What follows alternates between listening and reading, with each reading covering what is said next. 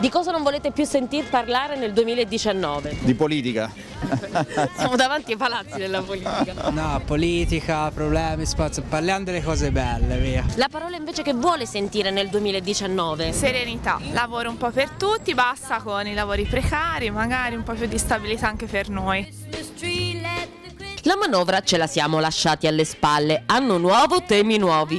Quali sono le parole bandite nel 2019 dagli italiani? Non voglio sentir più parlare di... Tasse, troppe tasse, tasse e accise. Corruzione, ma la vedo dura. Sicuramente dei crolli dei ponti. Omicidio contro le donne e basta. Di povertà. Della spazzatura a Roma. dei rifiuti. E secondo lei non ne sentirà più parlare nel 2019? No, penso che ne sentiremo parlare ancora tanto. E quali sono le parole che si vogliono sentire nell'anno nuovo? Ricerca. Investiamo un po' più di soldi sulla ricerca. Giustizia, giustizia e pari opportunità per tutti. Pace, pace, pace per tutti. Come si dice in arabo? La fiducia nella politica? Non è molto, non dico bugia.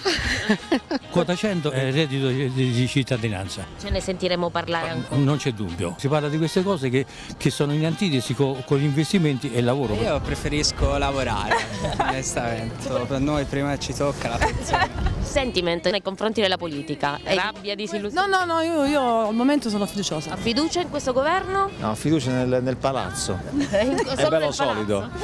No, no, il palazzo è solido. Quale sarà secondo lei la parola del 2019? Temo crisi politica, dopo le europee. Per colpa di Salvini, di Di Maio?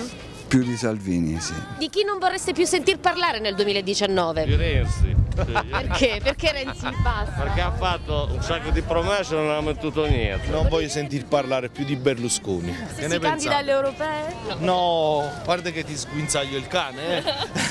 Ciao.